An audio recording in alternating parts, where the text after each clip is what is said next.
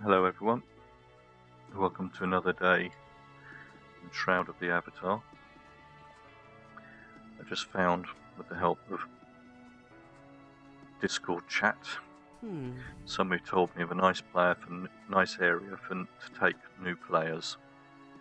So I thought I would use our nice, fresh, out of the box character, who, who, who is as it comes. I thought we would just show you the area. Now, the first thing we need to do is the character can't carry much, so one of the first skills that you should look to buy, just going to bring up the character sheet, is we can only carry 87. At the moment, we've got 60.6, and we're not carrying too much at all. So, I've cut down on all the tools he's carrying. Um, he picked up a key somewhere, but it's only 0.1. I'll show you a place where we can put that.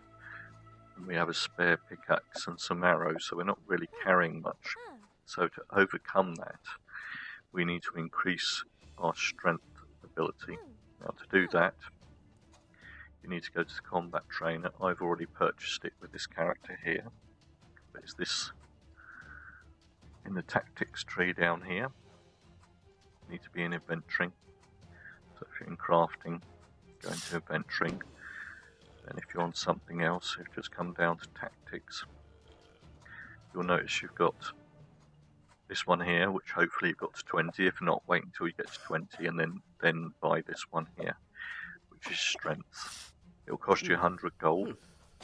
So that's the next one you want to start to train up that will give you the ability to carry more items in the game.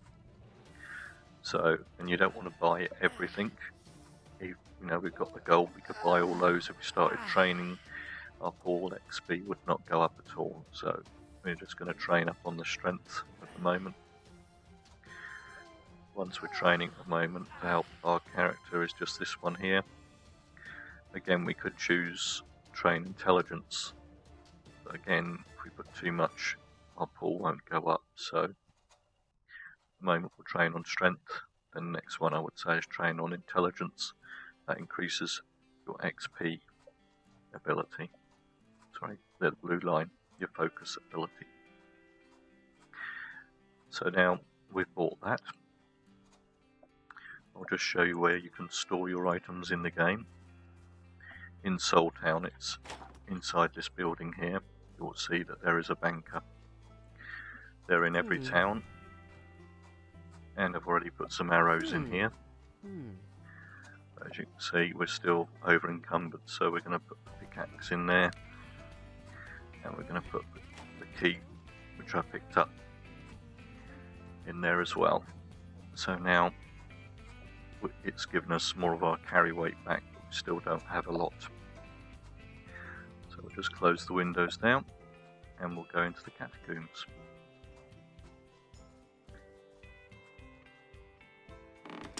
And for some reason, it thought I wanted to talk to the cat.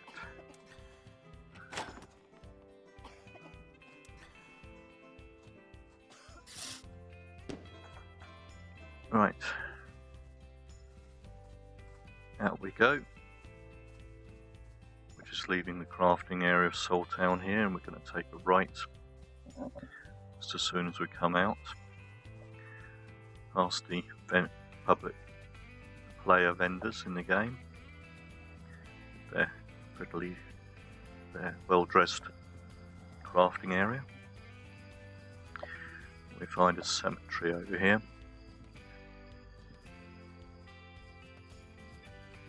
And just at the back of the cemetery,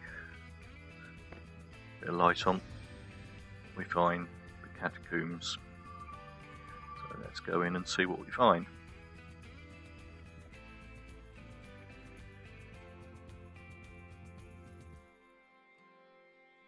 Now, as that loads, for any people that are new to my videos, if you click on the subscribe button in the YouTube page, you'll get to know more of when I bring out more content. So, now the game's loaded, we find ourselves down in the catacombs. Say if you find it dark, just bring up your light spell. And we'll find we've got a skeleton. Now all of the creatures down here aren't damaging us much at all. So we can just quite happily, we don't have to keep on running around. We can just sit there quite happily fighting away. There we go. Let's come out of combat. Uh, if you come out of combat, you'll recover a lot quicker. Come up here. Go down. This wall's been broken out by somebody.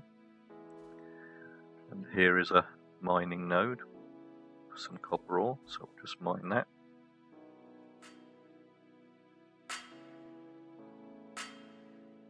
All the basic tools you're given when you first start. So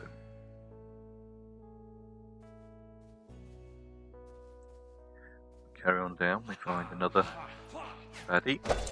Fact, there's two of them. There's one over there as well. But as I say,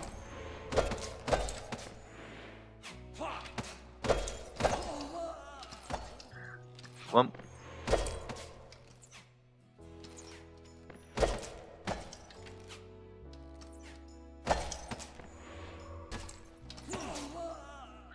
There's the other.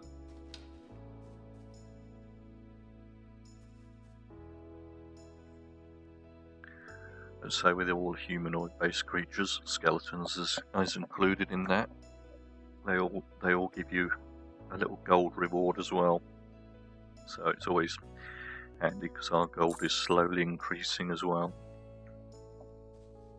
There's another copper mine, copper node. Let's bring up a character sheet. As you can see, we've got 65.7. And when we pick these up, you can see we're slowly getting up to our limit, even when we pick up Items like the bows are a weight of 3. The gold, of course, weighs nothing, but the arrows weigh a little bit, but we would have used more in killing them. Now, if you haven't picked one up, you can pick up a pickaxe.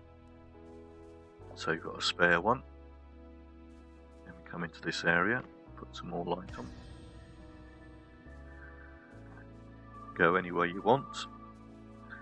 They are relatively large the catacombs. You find these little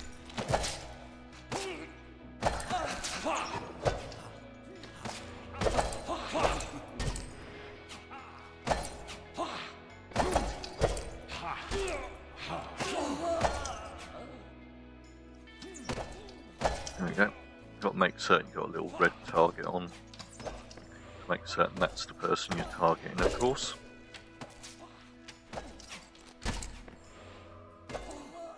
There we go. And one over here.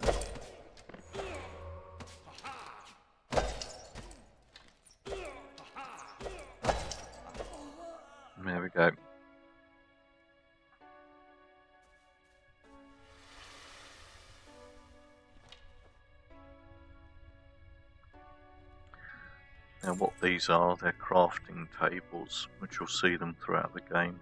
This one's a cooking station, alchemy station and blacksmithing station.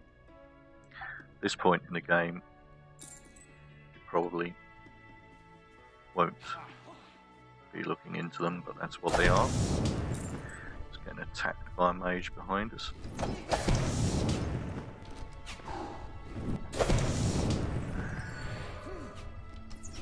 Because we just now carry a little bit more, we just leveled up strength that means we can carry just that little bit more. Just leveled up some health, so that means we would have added something to this bar up here. means you can stay in combat longer. Again, we put one of these in the bank. Key to the catacombs. There are notes dotted around, you can have a read. Sometimes they might give you a look, give you some hints of what to do. Let's carry on down and through. There's a storage area of some kind. Oh, look, they're all asleep. Let's wake them up, shall we? This one here is the gust ability, which of course just blows them back.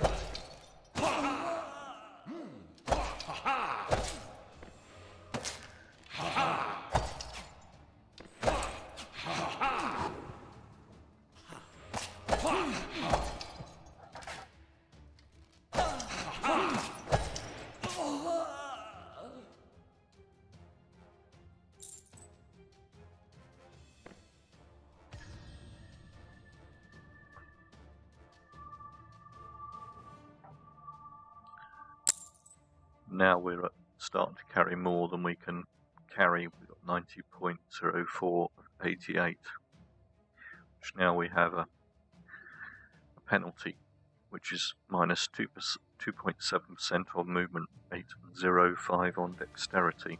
At the moment, it's not a problem, so carry on just a little bit longer. So you can see it's not making much of a difference to him, but it will over time. Okay. Oh, there's quite a few in here. We'll just withdraw a bit. We don't want to take too much damage at once.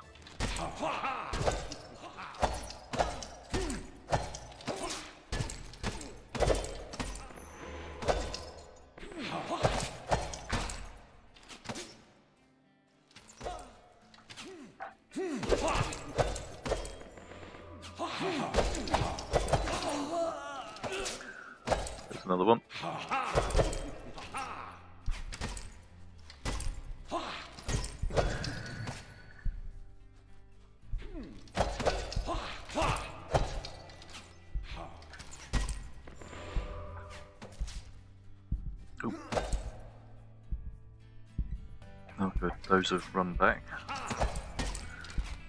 Be helpful.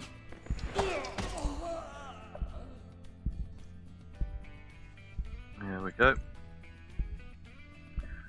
It's an archer. Now we'll just wait for ourselves to recover. We'll use a bit of healing there.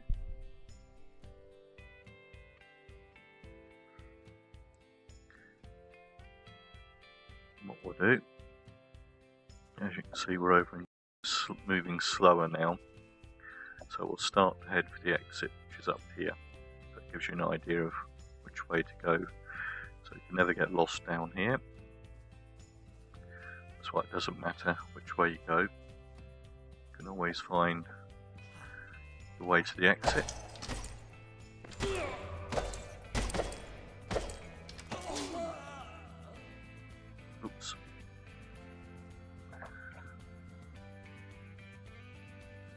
Take all of those.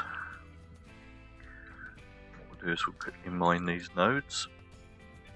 Seems we're on our way out. So as we slowly take on more, the penalty gets higher of course. So here we are, we've got a movement rate of minus 6.6. If we take this on, we now have 7.2%. So it will slow us down till a point where you're hobbling along. So it's still not too bad, but it's now starting to affect us. And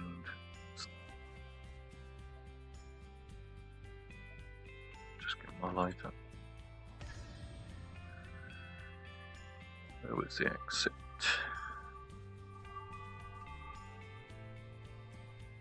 There we go. Just go up here. It came through here, we had, we had the skeleton. I'll take him on. Skeleton that wasn't hitting us hardly at all.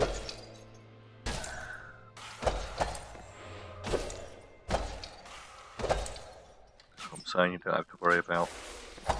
It's only when you get too many people you have to worry went down here. And again, our weight's gone up. Now got minus 10.9 on movement. Which again you can see we can still move, but we're getting slower. So we'll just exit the mine. No, not mine. The dungeon.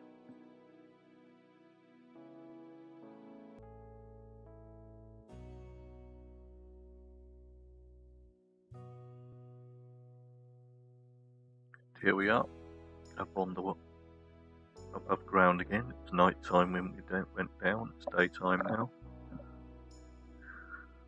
So we'll take our slow jog back into the town, then we can sell our wares.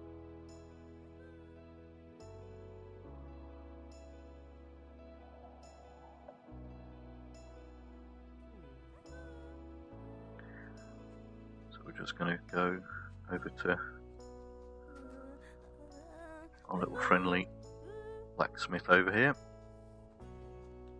And we're going to sell everything but the arrows.